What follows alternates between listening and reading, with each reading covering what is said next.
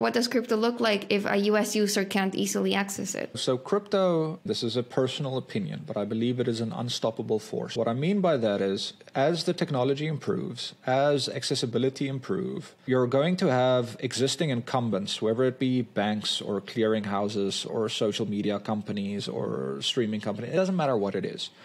But their overheads in doing things in the legacy internet way is going to be so much more expensive than doing it in the decentralized blockchain way.